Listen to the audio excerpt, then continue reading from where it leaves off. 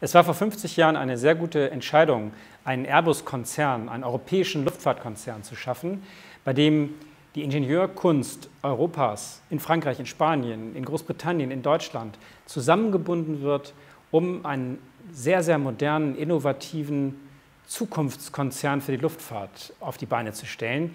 Denn das ist nötig. Europa brauchte eine Antwort auf Boeing und andere Aktivitäten in der Welt. Und diese Idee war sehr erfolgreich.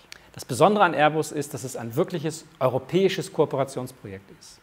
Die besten Ingenieure und Unternehmen der Luftfahrt arbeiten europaweit zusammen. Es ist, wenn man so will, ein Beispiel für die europäische Einigung, die dann in der Wirtschaft eine starke Kraft darstellt.